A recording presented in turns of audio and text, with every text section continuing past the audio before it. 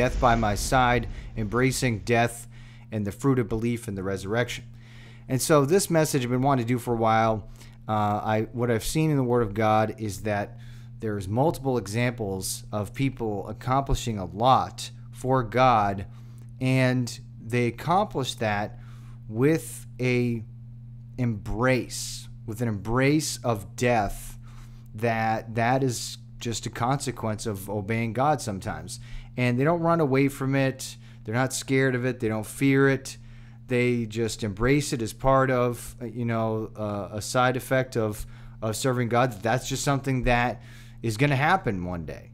And they're, they don't let that hinder them obeying God and, and stepping out in faith and trying to do something for God.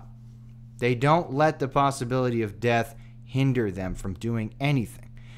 And I think that's such an important uh, concept to get down. You see, there's many aspects to this as we go through many scriptures, but you're going to see how important this is uh, at any time in history, right, for Christianity, but especially now, it's going to become even more important. So I hope that everyone takes this to heart and sees the important of it, the importance of it. And uh, just going to give you a couple examples, actually, from my life in uh, doing street ministry and stuff. I've seen this happen multiple times where someone was trying to intimidate me and scare me, threaten me. And when I told them basically, hey, you're just going to have to kill me right here, just shoot me in the head, and that's the only way you're going to stop me. I'm not going to stop preaching. And then all of a sudden, their countenance would completely change. Their face changed in front of me, and they stopped trying to, you know, act like that and, and tried to intimidate me because once they see that you're not afraid of death and you're willing to go all the way uh, to that point, they, it basically takes the wind out of their sails. And that doesn't happen, you know, it's not going to happen every time. I mean, obviously, many Christians have been killed for their faith. But it does uh, happen with many different people when they're trying to, you know, because a lot of people are just trying to, to scare. And also, not just that, it's also a test, too. Because think about it like this there's a lot of you know fake Christianity, fake Christians today, and so a lot of times what they see is fake, and, and that people will fold or act weird or maybe act in the flesh, and, and they and people have seen that if they provoke people enough or try to intimidate them, that they'll back down, they'll fold or they'll act you know weird in the flesh, and so they keep pushing and pushing and pushing, see if they can break you or, or scare you. But once they see something that, that's real and genuine it's shocking to them. Kind of takes them aback. But that's a good thing, and then it's gonna maybe it'll make them uh, you know think about the Word of God more seriously. Uh, like I said, I had this happen to me multiple times. I had this happen one time. I don't think I, I don't know if I told you guys, but I went out one time street preaching in uh, San Antonio. I came back really late through a bad neighborhood at past midnight. I was in a parking lot by myself, coming back to the car. I'm going to get in the car. I turn to my side. All of a sudden, there's this huge black dude standing there waving me down. And, you know, I'm by myself, no one else around, no one in the parking lot, just me and him. And he's like, hey. and he, he lifts his shirt up and says, oh, I don't have any guns, man. I don't have any weapons. He puts his hands up. And so, just quickly, I got up and I walked pretty fast over to him. I said, What's up, man? I was just over here preaching the word of God. And I don't know what he was planning on doing because he was talking about asking for money and stuff, but you could just see it in his eyes. As soon as I talked about that, that he was like, he, he kind of softened. He chilled out a little bit. His shoulders dropped. Um, I think I had a little bit of cash on me, not much. I gave him what I had, but it wasn't it wasn't that much. And I just started talking to him about that a little bit. He and uh, then, you know, after talking for a few minutes with him, shook his hand and he left.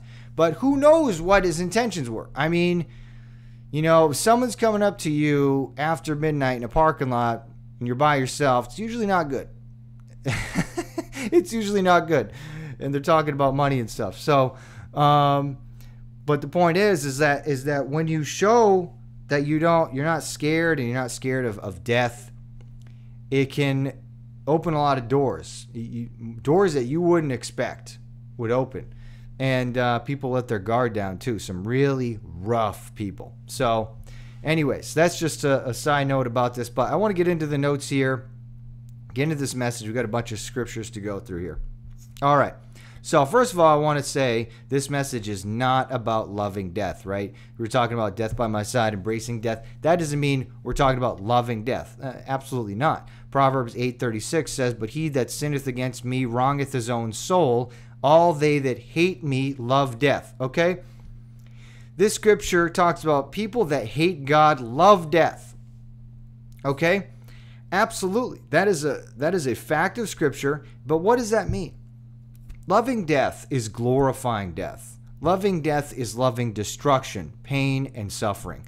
Loving death is loving darkness, which we can see today in the many tattoos, shirt designs, and decorations that depicts things related to death. You see that everywhere, right? Everything covered in skulls and grim reapers and, and, and you know killing and death and all these things.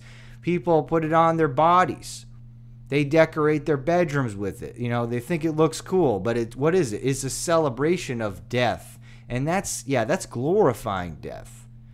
And yes, that when it says all they that hate me love death, it's talking about these types of things. And it's uh, people like, you know, being obsessed with um, you know, murder and all these other things, serial killers and all the, those other types of things. Just obsessed with it. That's not what I'm talking about here in this message. This message is about embracing the reality that if we will do anything for Christ, we must face death and not run away. That's what I'm talking about here today. Everyone who accomplished much in the service of God embraced death. I'm not just talking about the old, uh, the New Testament. I'm talking about oh, the Old Testament too. Everyone accomplished much in the service of God embraced death, including Paul, David, and the Lord Jesus Christ as our ultimate example. Jesus is the ultimate example. We'll be talking about him at the end. But we're going to look at some other examples in the Bible. They all embraced death and they accomplished much for God. And let's look at this scripture to open up. And I want to break down this passage because I think we may have had a slight misunderstanding about the primary meaning of this passage, but I want to show you what this is talking about here and we'll jump off from this. 1 Corinthians chapter 15 verse 30. And why stand we in jeopardy every hour? I protest by your rejoicing which I have in Christ Jesus our Lord, I die daily. If after the manner of men I have fought with beasts at Ephesus, what advantages it me if the dead rise not? Let us eat and drink, for tomorrow we die. Okay. So, what I've heard uh, many times throughout the years of listening to preaching is preachers quote that scripture where uh, it says, I die daily, in reference to, you know, a die, a daily dying to self, right? Dying to the, the lust of the flesh and these types of things. Now, I do believe that, you know, that is a truth of Scripture. Absolutely. I will never deny that. But I think it's in this passage, that's not what it's referring to. And I'm going to show you why. The phrase I die daily is often applied spiritually, as in dying to self. But if this passage is examined in context, it does not appear to be the primary meaning. This doesn't mean the Bible doesn't talk about death in the context in the context of the flesh. It definitely does. Absolutely, the Bible says that. I would never deny that. And here, here's some scriptures about that. Romans chapter 8, verse 13. But if you through the Spirit do mortify the deeds of the body, ye shall live, right? Mortify, that is a word that has to do with death, putting something to death, mortification, right? Mortify the deeds of the body. Colossians 3 5. Mortify, therefore, your members which are upon the earth fornication, uncleanness, inordinate affection, evil concupiscence, and covetousness, which is idolatry. And then Romans 6 11. Likewise, reckon ye also yourselves to be dead indeed unto sin. Okay? So mortify the deeds of the body, mortify your members, and be dead unto sin, right? So, yes, the Bible talks about death in relation to the flesh, the lust of the flesh. Um, yes, absolutely says that. I would never deny that. But when Paul said, I die daily, he was talking about the possibility of facing death every day, the potential that he could be killed, which he uh, had that, you know, he was involved in situations like that all the time. If you just read, especially through the book of Acts, but he talks about it over and over again, uh, facing death. In the same passage, Paul talks about facing the possibility of death from wild beasts, right? Look, look at what he says there. If after the manner of men I have fought with beasts at Ephesus. Now, sometimes some you know commentators are like, well, maybe he was referring to men that were like beasts and all this stuff. I don't see a reason why we should uh, spiritualize that and say that he's talking about that. He says, I fought with beasts. And that was actually a custom in the time of the Roman Empire to have criminals fight wild beasts as a spectacle for a large crowd. Now, depending on what the person did, sometimes they just throw them in there with no weapons, sometimes a sword and a shield, but they would have to fight beasts. And we know from, you know, instances in the Old Testament, like Daniel, he was put into the lion's den, and God shut the mouth of the lion so that he wasn't eaten. So God could take care of him. And obviously, God saved Paul's life but he's saying, you know, the point is, is that when he says fought with beasts at Ephesus, the, he, the context is talking about facing death. Okay? In the context of that situation, facing death, Paul asks, What advantageth it me if the dead rise not? Right? How does this give me an advantage if the dead don't rise, if there's no resurrection? Why would I put my life in, in danger? Why would he risk his life if there was no resurrection? Doesn't make sense. And so his willingness, his willingness to face death is a fruit of his belief in the resurrection of the dead. The belief in the resurrection of the dead helped Paul face death without fear. Paul contrasts this attitude with the statement, Let us eat and drink, for tomorrow we die. Why does he say that? Well, that's a quote from the Old Testament, first of all uh, Isaiah 22, verse 12. And in that day did the Lord God of hosts call to weeping and to mourning and to baldness and to girding with sackcloth. And behold, instead, what happened? Joy and gladness, slaying oxen, killing sheep, eating flesh, drinking wine. And what they say? Let us eat and drink, for tomorrow we shall die. That's the attitude that the people had. That's what Paul was quoting. And so, what is he talking about? This attitude is one that people have when they treat this life as if that's all there is. They have no thought of a resurrection or day of judgment, which the Bible warns all people on earth about. Hebrews chapter 9, verse 27. And as it is appointed unto men once to die, but after this, the judgment. You die once, and then there's a day of judgment. You will stand before God to be judged. Now, if you don't think that that's going to happen, if you've lied to yourself and you don't think that you're going to die one day and then be judged, well, then what's your attitude going to be? Let us eat and drink, for tomorrow we shall die. Let's live it up now. The only thing they're concerned about is enjoying the pleasures of sin for a season temporary pleasures of sin. This selfish mentality of partying until the day of death is opposed to the mentality of seeking to do the will of God, even if that means facing death. They are opposed. Two different contrary mentalities. The, the mentality of the majority of people today is living it up in this life the best that you can as far as pleasure goes until the day of your death because after death who cares what happens after that? That is opposed to people that know that hey the pleasures of sin they're only for a season.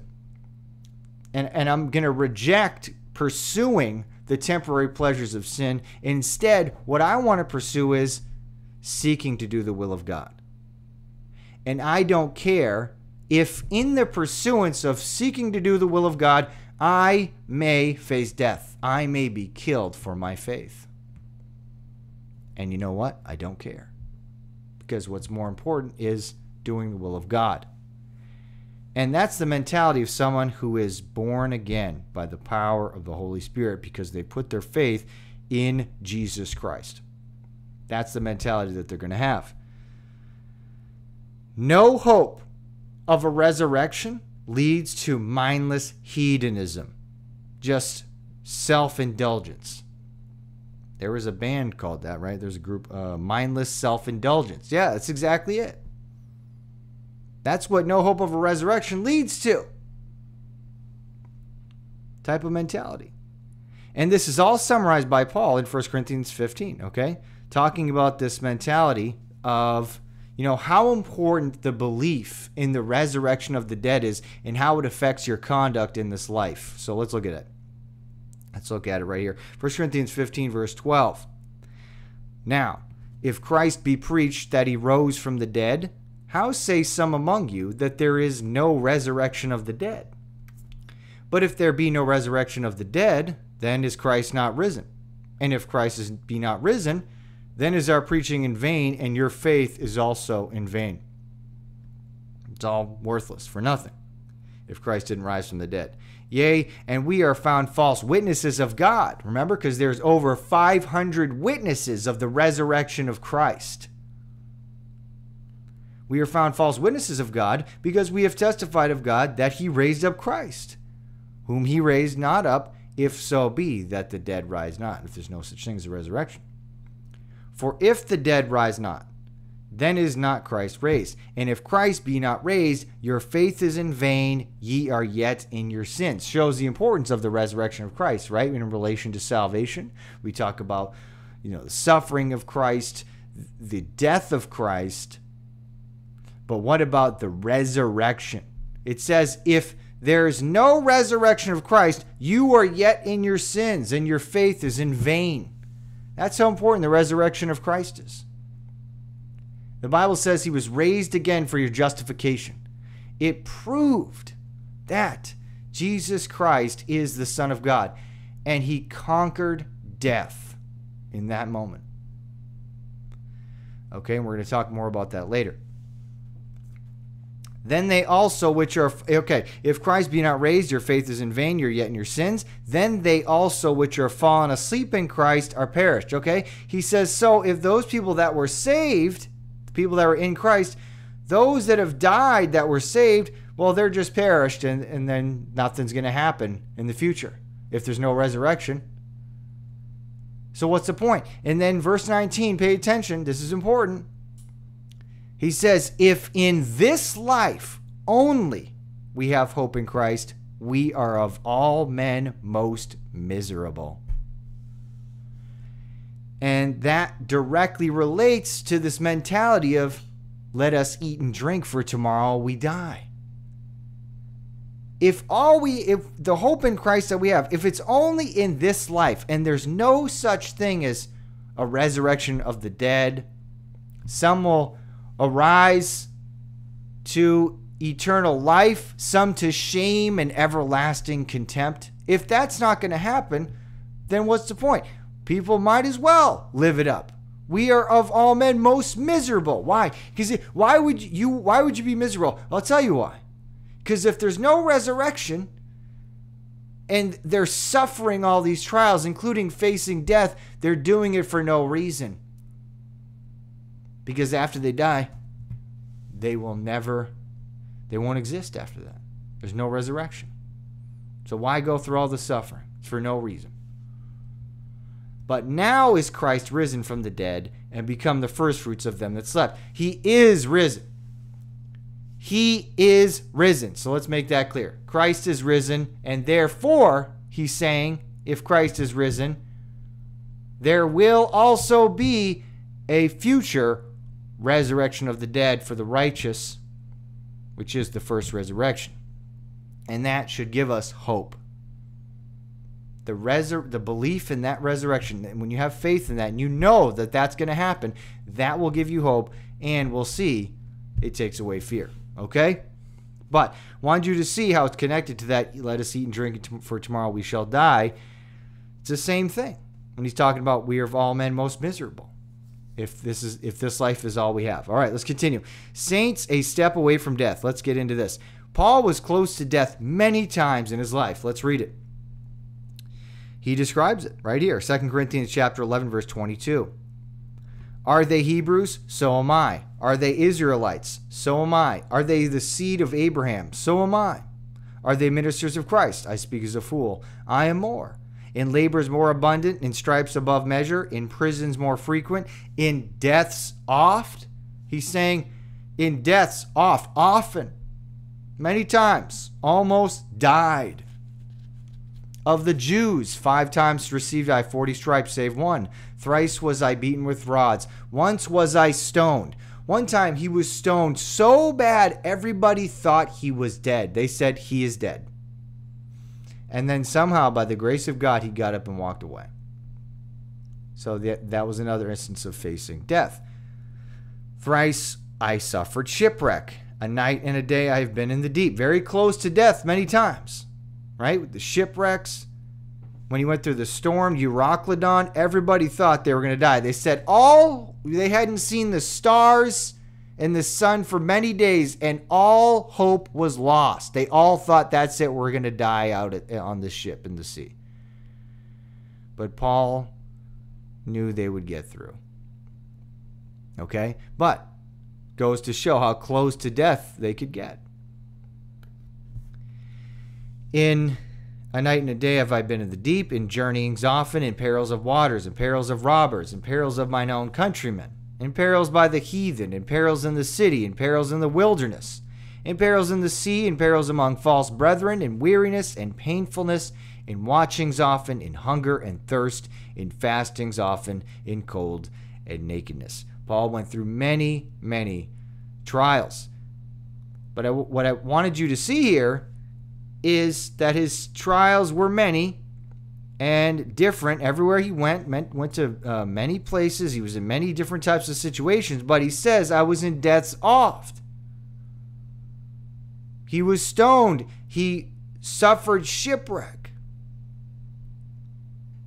A night in the day and a day have i been in the deep. That's awful. A lot of people hate the ocean. Don't want to be in it. And he floated in it for a night and a day. Terrible. But he got through it. So he was close to death many times. So was David.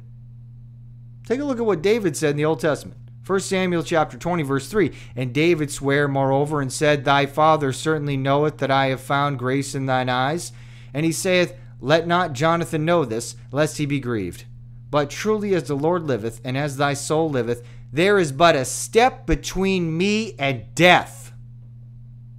Wow. Why don't you underline that in your Bible? Remember that statement from David. There is but a step between me and death. That's how close he felt to death. Not just one time, but constantly. Think about how he was chased around by King Saul who wanted to kill him. And he had to go from place to place in the wilderness, running here and running there. And that wasn't the end of it.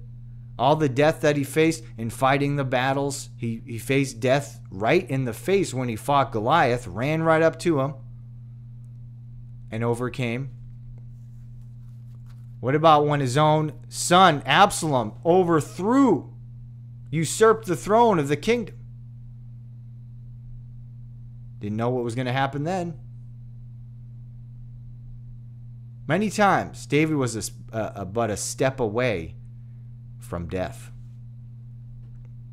But you know what? He accomplished a lot for God.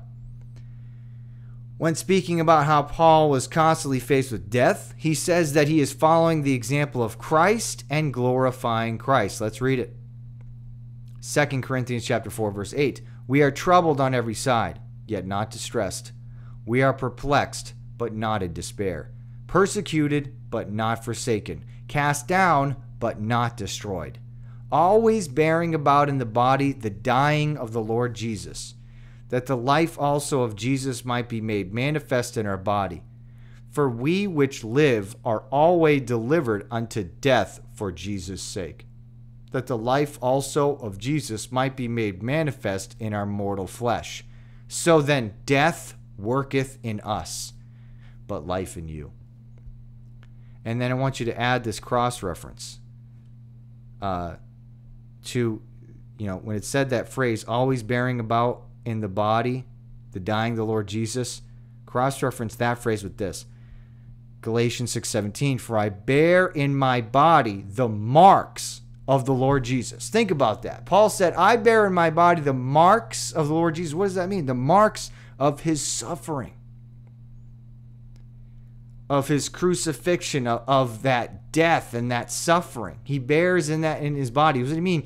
He, what does he mean? He means that he's following the example of Christ in suffering and facing death. What does he say? Bearing about in the body the dying of the Lord Jesus. We are always delivered unto death. Death worketh in us, constantly facing death all the time, but he has fully embraced it. He has accepted it. That is a part of the, the deal when he chose to follow the Lord Jesus Christ, that he was going to have to face death many times. And he's okay with that. Fear of death. All right. So let's talk about this fear of death. This is the first thing we're going to talk about in related in relation to this subject. Because people fear death. And and what does that do? It's not the fact that people just fear death. It's that the fear of death stops people or hinders people from doing things that they maybe should be doing.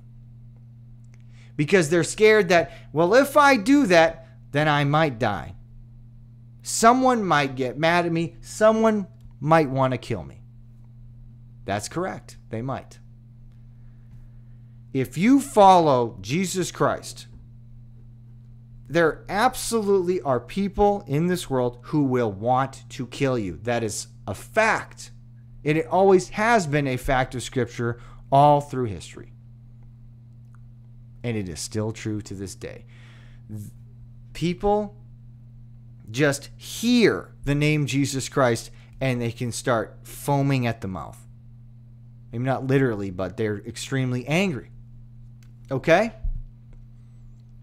They absolutely hate it. Hate everything to do with the Bible, and you can see this rising more and more everywhere the hatred increasing.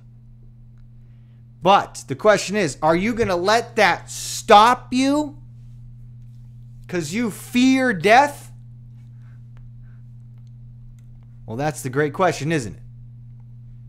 And that's why the times that we live in is going to be a great separator. And it's going to separate the fake from the true. And one of the ways that that will happen is through the threat of death, the fear of death. Many will shrink back. Many will be ashamed of the words of the Lord Jesus Christ because they fear death. And you know what? That's a good thing. Because we need less fakes professing the name of Christ. And we need the real ones to shine forth as examples of the grace of God and as testimonies of the power of God and of salvation in Christ. And we need less of the fakes. It's muddying the waters. It's hard to even, no one even knows what's true or what's not anymore. It's all unclear. So let's talk about the fear of death. Paul the Apostle did not fear death. Everywhere you turn and you see what he did, he shows no fear of death. Paul regarded service to Christ higher than preserving his own life. Let's read it.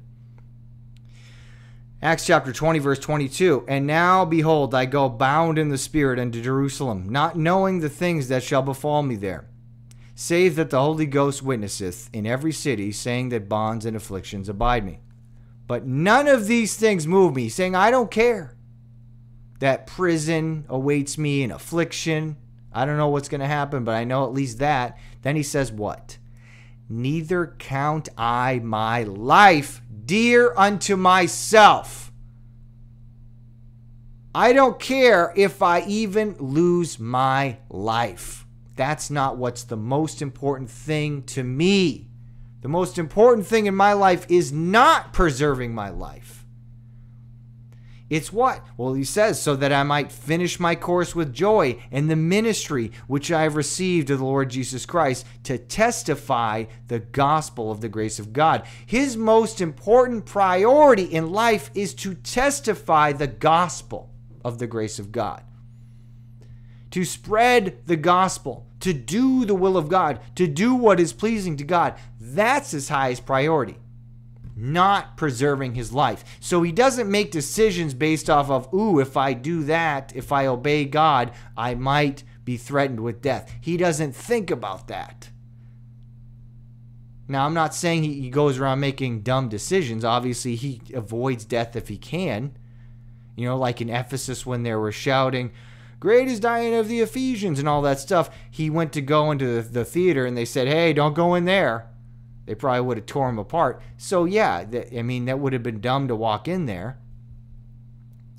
Not going to make foolish decisions and tempt God, but at the same time, not going to let the fear of death stop him from doing the will of God. Paul said the same thing about Epaphroditus. Look at Philippians chapter 2 verse 30. Because for the work of Christ he was nigh unto death, not regarding his life to supply your lack of service toward me. Epaphroditus got sick. How did he get sick? Because he was working so hard in the ministry and he got sick because he just he was just worn down, right? But he says he not regarding his life, meaning he was so focused on these other things, spiritual things, that he didn't regard his life. And you know what it says in the book of Revelation about the saints that overcame? Saints in Revelation who overcome the devil loved not their lives unto the death. Look at it. Revelation 12 11. And they overcame. They overcame him by the blood of the Lamb, by the word of their testimony, and they loved not their lives unto the death. That's how they overcame the devil. Okay? So you need to remember that. This is for, again, this is always true in every age, you know, in all the past history of, of Christianity, but it is especially true for now, for the end times, for what it says happens with saints in the book of Revelation. The blood of the Lamb, the word of their testimony, okay? So they're saved by the blood of the Lamb. They know about it. They understand from Scripture about the importance of the blood of Jesus Christ and how that paid for their sins. It talks about the word of their testimony. They give their testimony. They tell people the gospel and say, This is how Jesus Christ saved my soul. He can save you too if you just repent and believe the gospel. Here it is. They overcome by those things. And also, that is tied together directly with that is that they love not their lives unto the death. You can't cut that out from the preaching of the gospel, by the word of their testimony, by the blood of the Lamb. You can't cut that out and separate it. The attitude of loving not their lives unto the death has to go with the blood of the Lamb, with the word of their testimony, if they are to be overcomers. If you want to overcome the devil, you have to have that attitude of loving not your life unto the death. Because you will be threatened with death. Just think about the mark of the beast. Think about the image of the beast. Said, okay, bow down, uh, worship the image of the beast, or you'll be killed. Well, you can't obey that. God expressly forbids you from doing that. So you can't love your life unto the death if you want to obey God in that instance. There it is. Not loving your life unto the death means you fear God more than the threats of physical death from men. You know, Jesus talked about this very clearly in the Bible. Luke chapter 12, verse 4 And I say unto you, my friends, be not afraid of them that kill the body. See, Jesus is so clear about this. Do not be afraid of people that kill your body, that can kill you, and that threaten to kill you. Don't be afraid of them. And after that, no more that they can do. But I will forewarn you whom ye shall fear. Fear him which after he hath killed hath power to cast into hell. Yea, I say unto you, fear him. Who is that? Who is that that has power after he has killed to cast you into hell? Well, that's God. God has that power. And so he is telling you, fear God more than mere humans who can just kill your body and then do nothing else. Simple as that. And Jesus tells you that plainly.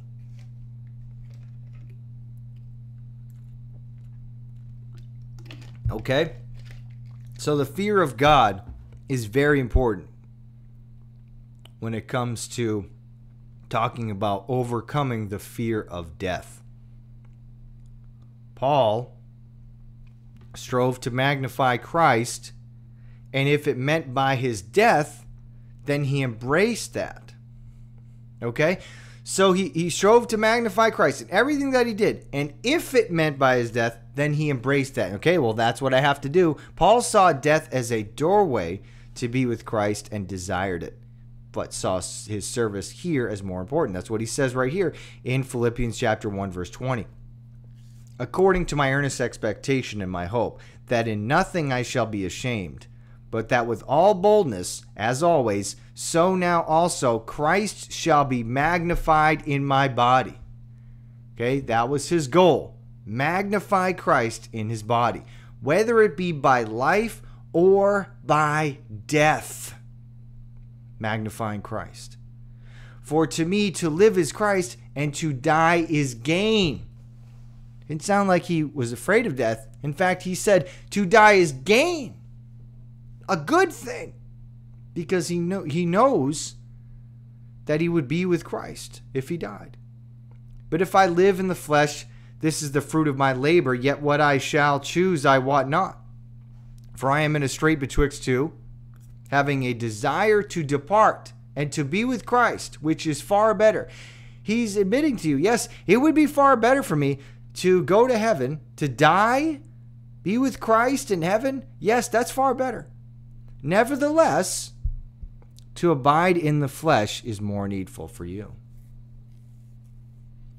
So he did not only did he not fear death, he said death was is actually far better than staying here in the flesh as far as what he would want to do.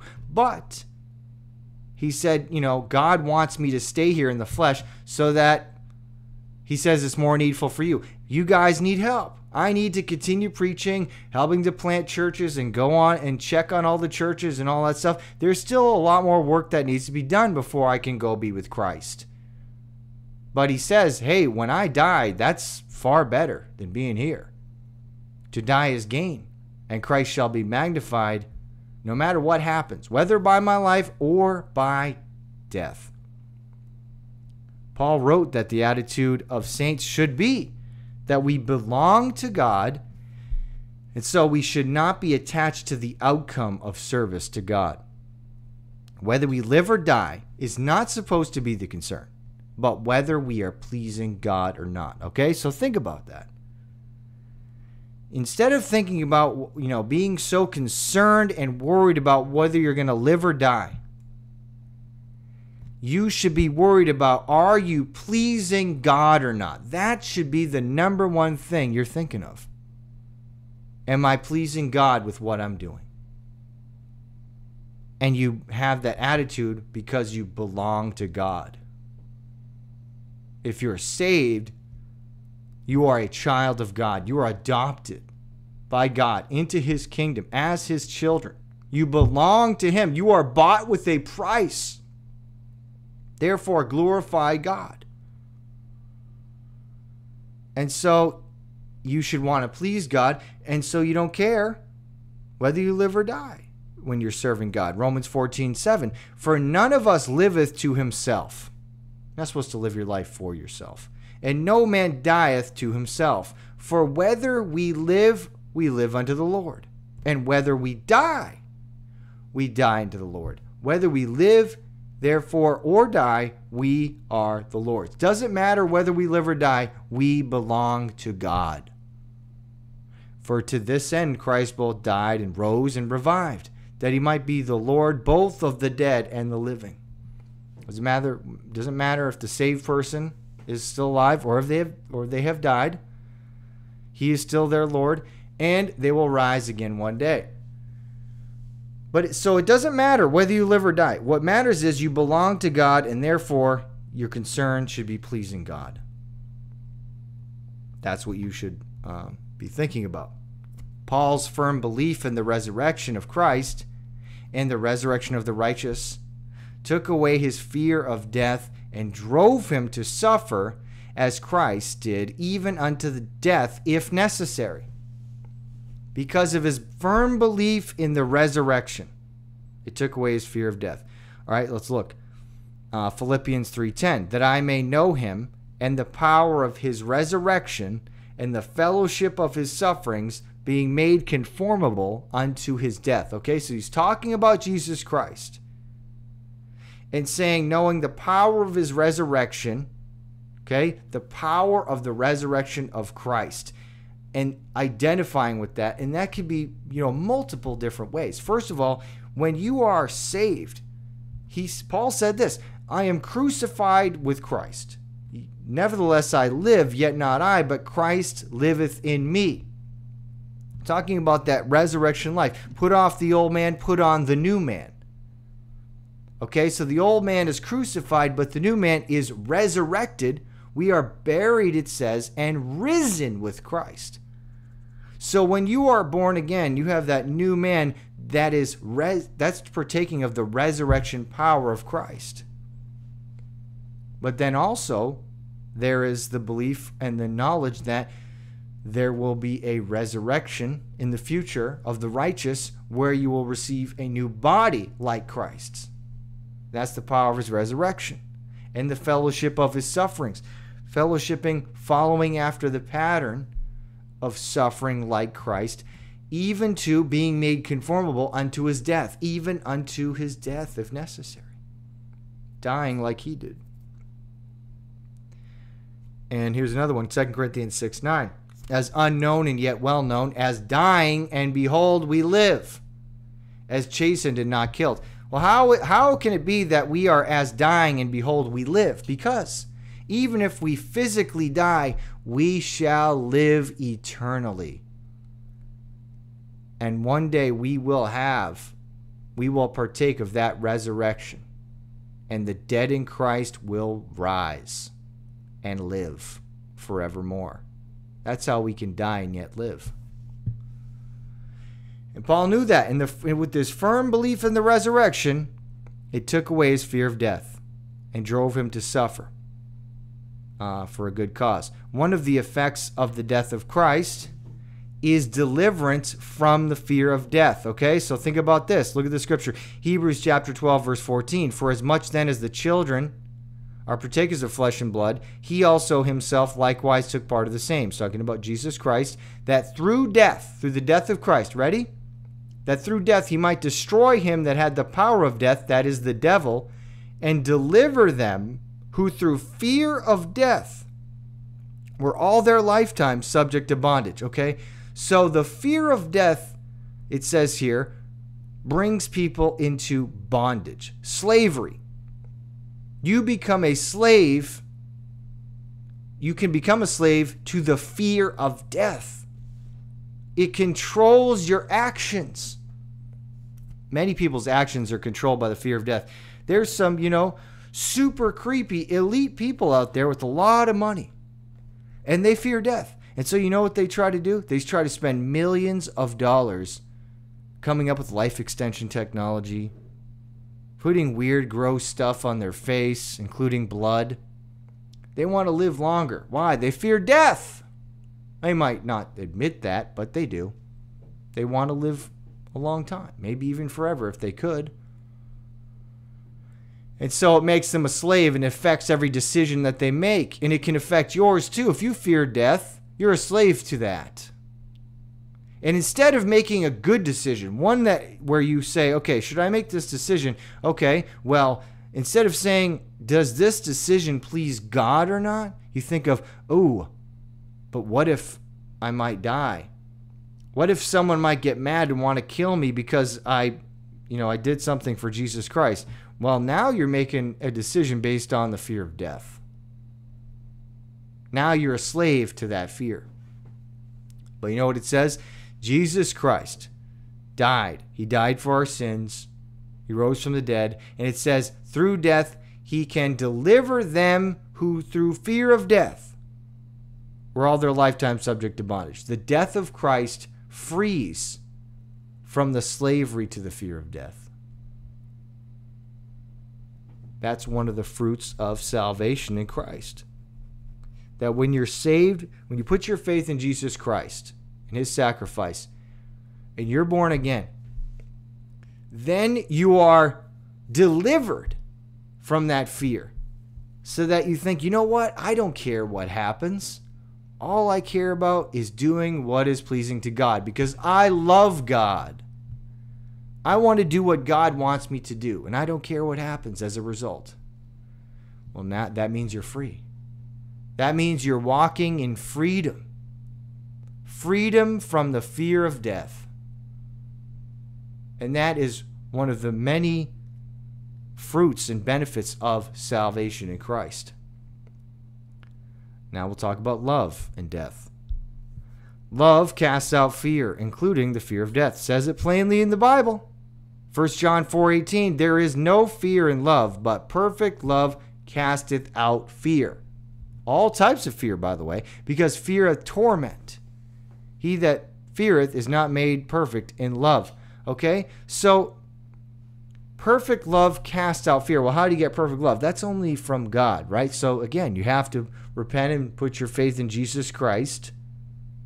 And it says, the love of God is shed abroad into our hearts by the Holy Ghost. So that's that perfect love. You can only get that when you you're saved, when you put your faith in Jesus Christ. And then when you get that perfect love, you know what it says? It casts out fear. Many types of fears, including the fear of death. Cast it out. Love casts out fear. That's the power of love. You might have been taught about the fake, ushy gushy Disney love which tells you to follow your heart. The Bible says the heart is deceitful above all things and desperately wicked. Who can know it? It also says he that trusteth in his own heart is a fool. Fool. That's not what we're talking about. We're talking about true biblical love which comes from God. And it says that love has the power to cast out fear. And I believe that 100% because it is a statement in the Word of God. It is a promise. And we should not doubt the truth of that statement that perfect love casts out fear. It absolutely does. Okay? That's the power of the love of God. Having the love of God and knowing that death cannot separate you from the love of God helps to face death without fear. That's exactly what the Bible says in Romans chapter 8. Let's look at it. Romans chapter 8, verse 35. Who shall separate us from the love of Christ? No one and nothing can separate us. Shall tribulation or distress or persecution or famine or nakedness or peril or sword? As it is written, For thy sake we are killed all the day long, we are accounted as sheep for the slaughter. And that's what Christians have had to face through many centuries facing death, persecution where they slaughtered people. Like when the Roman Catholic Church came to the village of the Waldensians and said, they said, Oh, you know, what if there are some Christians in there? And he said, Kill them all. Let God sort them out. God knows his own. And they wipe out villages of thousands of the Waldenses. They killed many Christians. It, it, you know, many different groups have. We are accounted as sheep for the slaughter, facing death. Nay, in all these things we are more than conquerors through him that loved us. More than conquerors, even when facing death. For I am persuaded that neither what? Death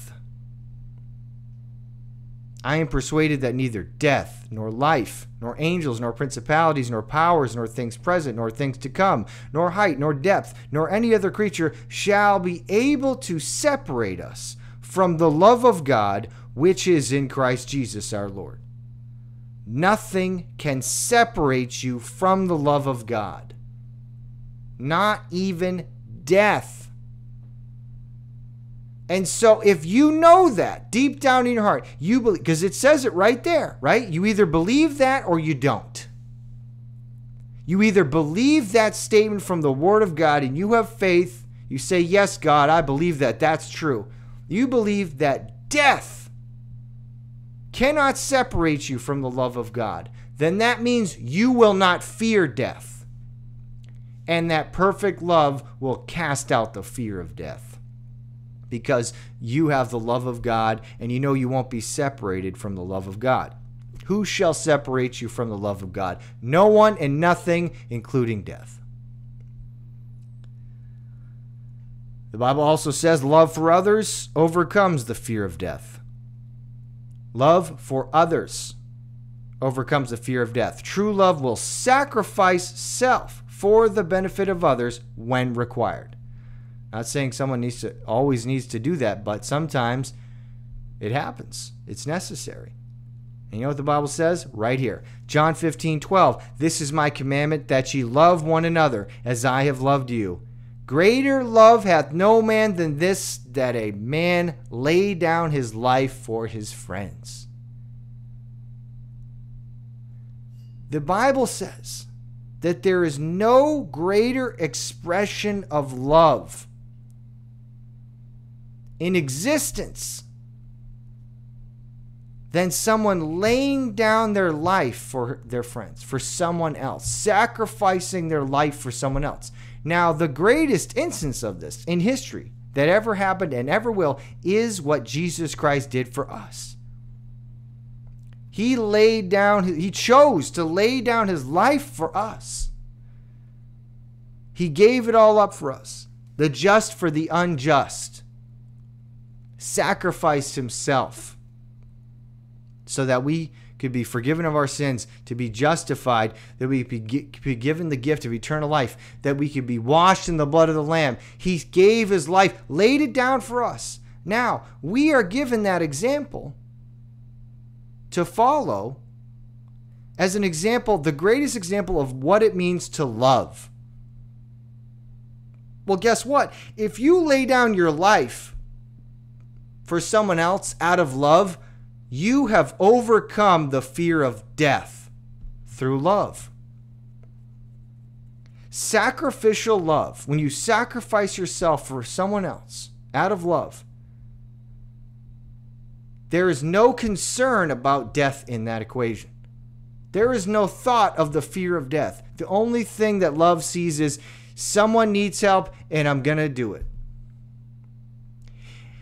If I lay down my life, then they'll be saved. There is no thought that enters their brain about, yeah, but what if I die? That's not the concern. Death is not their concern. It's about doing what is right. It is about love, not about death. Death should not stand in the way of doing what is right. Another great example of this is Esther, the Old Testament. Esther embraced the possibility of death out of love for her people when she went to make a request of the king. Okay, so what happened here is is that this wicked man named Haman made up a plan to have all the Jews in the land killed, destroyed. And Esther had one last chance to stop this plan. And she had to face death in order to stop this. So let's look at it. Um, Esther chapter 4, verse 10. Again, Esther spake unto Hatach and gave him commandment unto Mordecai. All the king's servants and the people of the king's provinces do know that whosoever, whether man or woman, shall come unto the king into the inner court, who is not called, there is one law of his to put him to death. Okay? So what she's saying to Mordecai is, hey, you know, uh, if I go in under the king, doesn't matter who it is, if I'm not called, you know, the law is that I should be put to death, that I'm going to be killed. Anyone that does that, they're supposed to be put to death. Except such to whom the king shall hold out the golden scepter, that he may live. That's the only way that you won't die. But I have not been called to come into under the uh, into the king these thirty days. Okay, in a month she hasn't been called in. And they told to Mordecai Esther's words. Then Mordecai commanded to answer Esther, Think not with thyself that thou shalt escape in the king's house more than all the Jews. For if thou altogether holdest thy peace at this time, then shall their enlargement and deliverance arise to the Jews from another place, but thou and thy father's house shall be destroyed. And who knoweth whether thou art come to the kingdom for such a time as this? Wow. So Mordecai wasn't having any of Esther's excuse here. She said, Well, I haven't, you know, he hasn't called on me to come in in 30 days. And if I come in without being called, I can be put to death. Mordecai says, Listen, if you stay quiet now, and you don't do anything, God will find some other way to deliver his people. No matter what, God is going to deliver his people. So even if you just keep your, your, your mouth shut, they're going to be delivered no matter what. But if you do, you and your family are going to be destroyed. That's what's going to happen if you keep your mouth shut and you don't take action here. So, do you think that Mordecai cared about the excuse of death here? No, he didn't care. He said, It doesn't matter. You need to do what's right right now to step in and intercede for your people. And who knows if you're come to the kingdom for such a time as this? God placed you there at this time, at this place, for this reason to deliver his people. And listen what she says. Then Esther bade them return Mordecai this answer Go gather together all the Jews that are present in Shushan, and fast ye for me.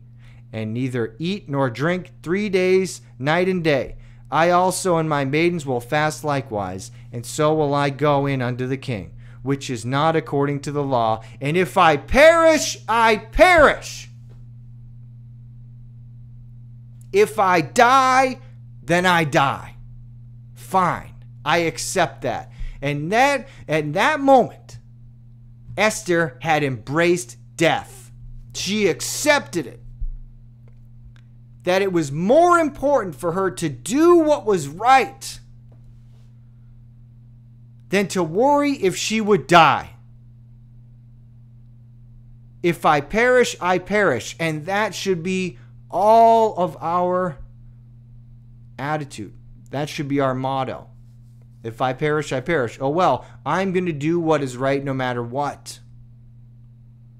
Especially in an important life or death situation like this, where all these people were going to be killed, her people, but she had a chance to, to intervene and to possibly stop it.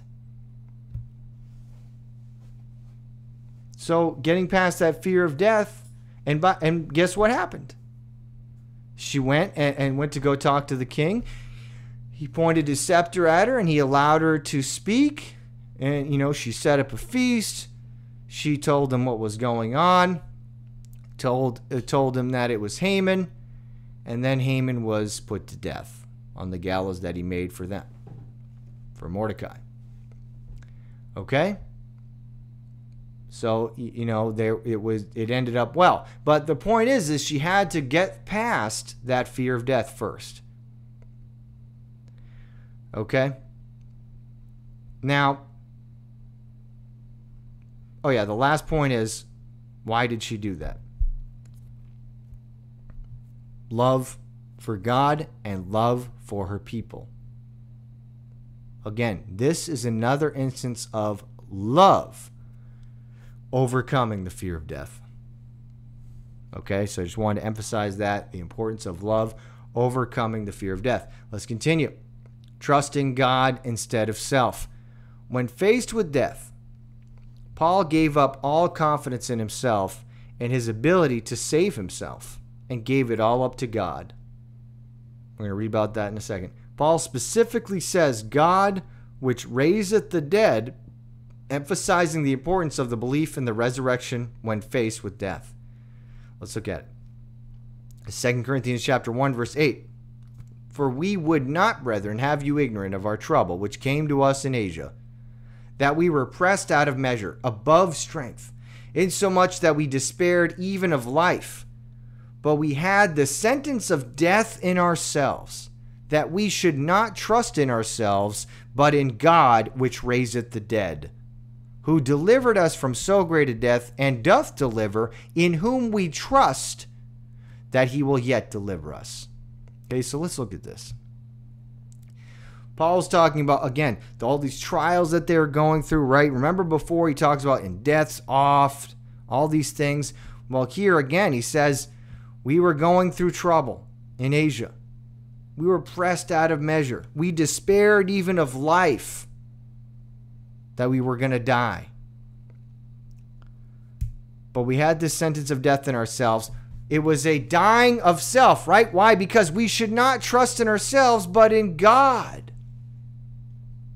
All trust and confidence in ourselves melted away because we could not save ourselves. We could not deliver ourselves out of that situation. And so all confidence in ourselves was destroyed. It was gone. We had to give it up. But we had to put our trust in God. And he doesn't say just he doesn't just say God, he says in God which raiseth the dead. Again, it is connecting it to he's connecting God to the resurrection. To belief in a future resurrection. Because you know, since he has hope in that, it helps him to get through that situation of, of when he was facing death. It says, We trust in that God, the God which raises the dead. And, you know, this happens many times in the Christian life. Faith in God and his promises, especially about the resurrection, helped Paul get through the trials of facing death. God often puts us in a place where there is no other way out except by faith and giving it all up unto God. God will put you in that situation. If you're saved, don't be surprised if that happens. Where you feel like this, like you're pressed above measure, you feel like I can't I can't get out of the situation. I don't know what I'm going to do. Have you ever said that? Uh, God, I don't know what I'm going to do. I don't know how I'm going to get out of this. What am I going to do? That's a great place to be. You know why? Because it's everything that has to do with you is all going out the window. All chance of you being able to save yourself, to be saved by the arm of the flesh, is gone. And the only option you have left, left is to trust and have faith and cry out to God that God will deliver you. Only Him. That's where He wants you to be. And by the way, that's how your faith grows. God will put you in that place to grow your faith. Absolutely. And you feel like maybe even you're in a situation like that where you feel like you might die, or maybe you are, did get close to death. And maybe God is bringing you close to death right now. He's making you knock on death's door so that you'll cry out to him and every bit of self-confidence and self-reliance will th- will be thrown out the window and you'll cast yourself upon God and say God I can't do anything. Without you I can do nothing. I need you and you alone to pull me out of this. I nothing else I can do. I give it all up unto you. That's where he wants you to be. It's exactly where he wants you to be My grace is sufficient for thee. My strength is made perfect in weakness. Give it all up unto him. Now, final section the Lord Jesus Christ, death and obedience. Christ embraced death as part of his obedience. Okay? He embraced that. Christ came to the earth and he perfectly obeyed the law. Okay? He obeyed. Perfect obedience. And embracing death was a part of that because that was the end of his obedience. Right? Everything in his life of obedience was leading up to that moment of death. That was the final act of obedience of Christ was death willingly laying down his life. He embraced it. He embraced it before he even left heaven to be incarnated. He had already embraced death. And the cross on which he died is a symbol of death. Let's look at it. Philippians chapter 2 verse 5. Let this mind be in you, which also which was also in Christ Jesus, who being in the form of God, thought it not robbery to be equal with God. He's equal with God. He is God manifest in the flesh, but made himself of no reputation, took upon him the form of a servant, and was made in the likeness of men. And, be, and being found in fashion as a man, he humbled himself and became obedient. Right? It says, and became obedient unto death, even the death of the cross. Notice how it says death, then it says death of the cross. Okay? So obedience is connected to death. Obedience unto death. Embrace that death. That was the final act of obedience. But it says the death of the cross because the cross is a symbol of death. Now, why am I saying that? I'll tell you why. Uh, one more passage and then I'll explain more. The joy that was set before Christ of knowing that his sacrifice would provide the means for the salvation of souls was a motivator to endure the suffering of the cross, even unto death. Okay, that was a motivator. Let's look at it. It says it right here. Hebrews chapter 12, verse 1 Wherefore, seeing we also are compassed about with so great a cloud of witnesses, let us lay aside every weight and the sin which doth so easily beset us, and let us run with patience the race that is set before us. Look at it, looking unto Jesus, the author and finisher of our faith, who for the joy that was set before him endured the cross it says he endured the cross. How? For the joy that was set before him. He knew what was on the other side of that cross, on the other side of death. What was on the other side of that? Death of the cross. Victory over death, the gift of salvation, and that was joy, a reason to rejoice despising the shame, and is set down at the right hand of the throne of God. For consider him that endured such contradiction of sinners against himself, lest ye be wearied and faint in your minds. Okay? So he knew what would happen after the death. That's why he embraced the death. You see that? So if you see something, there is a greater good, again, of doing right, of pleasing God. There is a joy in that. Joy is a fruit of the Spirit, right? There is a joy in knowing that, hey, when you obey God and you do what is right, there is a joy in pleasing God and the joy of the fruit of that. And so, through that joy, it can help you to endure painful things, suffering, tribulation, and trials and afflictions because of the joy of knowing that you're doing the right thing. And that joy that uh, Christ saw was so powerful, it, it drove him to go all the way to death for all of our sins. Now, let's apply this to us. Jesus preached multiple times that his followers should take up their cross, right? We know that, right? He said, Take up your cross, take up your cross. Taking up the cross is explicitly an embrace of the possibility of death. It's exactly what it is. Okay? Matthew chapter 16, verse 24. Then said Jesus unto his disciples, If any man will come after me, let him deny himself and take up his cross and follow me. For whosoever. Now, listen, you, could take that out of context, right? You could say, Oh, just take up your cross, deny yourself, take up your cross, and follow me.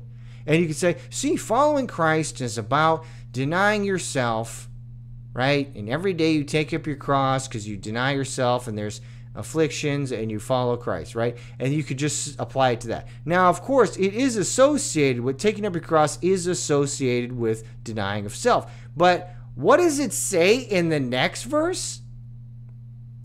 For whosoever will for. Well, if it says for, doesn't that mean it's connected to the verse that we just read previously? Yes. For whosoever will save his life shall lose it, and whosoever will lose his life for my sake shall find it.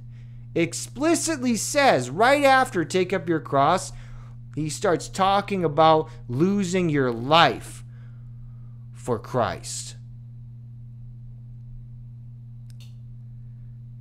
For what is a man profited if he shall gain the whole world and lose his own soul? Or what shall a man give in exchange for his soul? Nothing. And it doesn't matter, right? If you gain the whole world but lose your soul, that's a pretty bad deal. It doesn't matter if you have everything in the world and lose your soul. If your soul goes to hell, what does it matter? And so he talks about uh, losing your life for his sake, right? So that is explicitly a embrace of death, embracing death as a possible consequence of following Jesus Christ. He warns everyone right up front. Tells them. Luke chapter 9, verse 23, and he said to them all, If any man, if any man, anyone, will come after me, let him deny himself, take up his cross daily, and follow me. So, the cross of the, the disciple represents self denial, of course, and death to everything that is contrary to the will of God. Let's look at this. Galatians chapter 6 verse 14. But God forbid that I should glory save in the cross of our Lord Jesus Christ, by whom the world is crucified unto me and I unto the world. The cross represents death to everything that is opposed to God. To be dead to the world and the world dead to me. Why? Because the world appeals to the lust of the flesh, the lust of the eyes, and the pride of life. And we should be dead to that. We're dead to that, and it's dead to us through the cross of Christ. Represents death.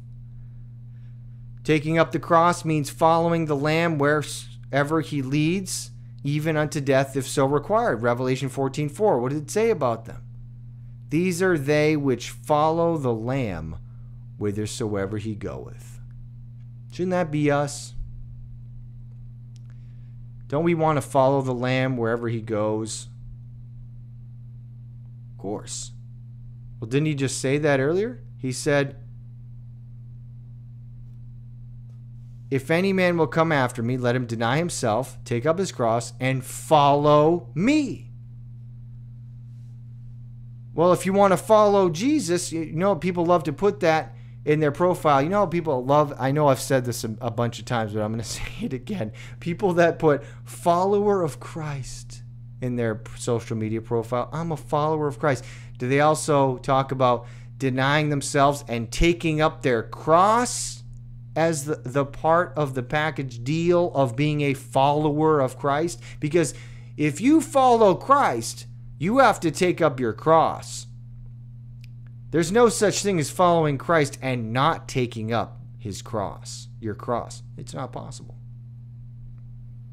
And like I said, it involves, yes, denying yourself every day, being crucified to the world, the world crucified unto you, submitting yourselves to God, resisting the devil that he flee from you, right? Fleeing from temptation of the flesh, of the devil, and the world every day, right? Yes, absolutely includes that. But it also includes the potential that you may have to die one day or deny your faith. And you know, Jesus said, Whosoever will be ashamed of me and my words, I will be ashamed of him before my Father. So, yes, the cross represents death and you take up that cross, you're saying, I'm ready. I'm taking up the cross. I am willing to follow Christ wherever it leads, including where he went. Where was the end for Christ in this world? Death. That was the end of his obedience. That's where we should be willing to follow him to the cross. God views the death of all his saints as precious in his sight. Psalm 116:15 Precious in the sight of the Lord is the death of his saints. It's not a small thing to God when his saints die. When they die in service to him, when they do not deny him all the way till death, it is precious in his sight. He appreciates it. And that's good to know. That it's all the suffering, and even if it's unto death, is not in vain. God sees it all. And you will have rejoicing in heaven. And you will hear that saying, Well done, thou good and faithful servant. And that's what you want to hear. Now, let's end on this victorious note and talk about the death of death. One last motivator in facing death is knowing that one day death will die, defeated and conquered by Jesus Christ. 1 Corinthians chapter 15 verse 25 For he must reign till he hath put all enemies under his feet. The last enemy that shall be destroyed is death. That's right. One day death will be destroyed, will be no more. And when you know that, that one day death will die, that it will be destroyed, then you, then you will know that, hey, even if you die here, it's not going to last forever. It's only temporary, right? If you, you're saved and you die, to, to die is gain you will be with Christ. And then death will be destroyed. And so you keep that in your heart. Furthermore, all saints will rejoice in this victory when we receive our new glorified bodies, which will never die. 1 Corinthians 15 54. So when this corruptible shall have put on incorruption, and this mortal shall have put on immortality, then shall be brought to pass the saying that is written Death is swallowed up in victory. O death, where is thy sting? O grave, where is thy victory? Death is swallowed up. One day it will be swallowed up. And what happens? What does it mean when this corruptible shall put on incorruption, this mortal shall put on immortality? That will be the new body. One day when the dead in Christ shall rise, we will all have new bodies that will never die and will not have a flesh, sinful nature in them. No corruption.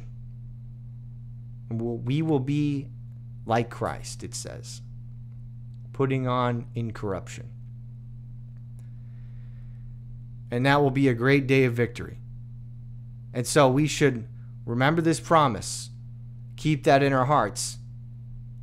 And again, that will help you to not be afraid of death now. Because you know what will happen one day. Death will be swallowed up in victory. And so, with this hope, we walk without fear with death by our side. I hope that was a blessing to you. Thanks for watching and listening. Please like, share, and subscribe, especially subscribe to the Telegram feed where you get all the updates and the PDFs of the notes and uncensored news, and you'll find me there if it gets censored anywhere else. And thank you for um, all the prayers, all the comments, and everything, all the gifts and everything else. God bless you and have a good day.